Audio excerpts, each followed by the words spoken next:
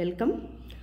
இன்றைக்கி நம்ம வந்து கொத்தமல்லி தழை வந்து நம்ம அறுவடை பண்ணுறதா நம்ம இன்றைக்கி பார்க்க போகிறோம் ஆக்சுவலாக நம்ம வந்து நம்ம இது வீட்டில் நம்ம சமையலுக்கு யூஸ் பண்ணுறக்கூடிய தனியா இதை நம்ம யூஸ்வலாக நம்ம எப்படி போடுவோம் அப்படின்னா அப்படி உடச்சிட்டு அப்படி ரெண்டாக்கி இந்த மாதிரி பார்த்திங்களா? அப்படி ரெண்டாக்கிட்டு இதை தான் நம்ம பூமியில் போட்டு விளைவிப்போம்.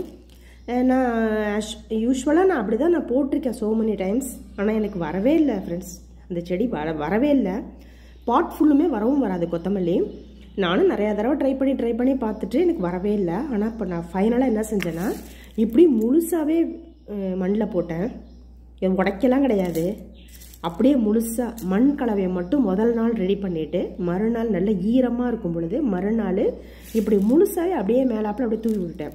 தூவி விட்டுட்டு மேலாப்பில் மண்ணை வந்து அப்படியே ஸ்ப்ரெட் பண்ணிட்டேன். திரும்ப ஈர மண் எடுத்து மேலாப்பில் ஸ்ப்ரெட் பண்ணிவிட்டு ரெண்டு நாள் கழித்து தண்ணி தொளித்தேன் சூப்பராக செடி வந்திருக்கு.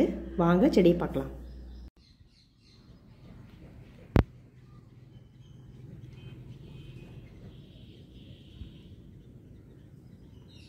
இது வந்து விதை போட்டு ஒரு பத்து நாள் கழித்து நான் எடுத்திருக்கிறேன். பாருங்கள் எந்த அளவுக்கு செழிப்பாக பாட் ஃபுல்லுமே வந்திருக்கு பாருங்கள் எனக்கு இந்த மாதிரி எப்பயுமே வந்ததில்லை அங்கே ஒன்று இங்கே ஒன்றுமா தான் வரும்.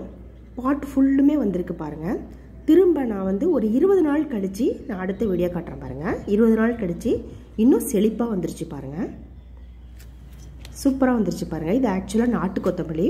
நம்ம இது ஆக்சுவலாக இப்போ அறுவடை பண்ணுற டைம் இது. எல்லாமே சூப்பராக ஈவனாக வந்திருக்கு. நல்லா செழிப்பாக சூப்பராக வந்திருக்கு ஃப்ரெண்ட்ஸ் நீங்கள் இதை மாதிரி ட்ரை பண்ணுங்கள் நல்ல க்ரீனியாக சூப்பராக வந்திருக்கு.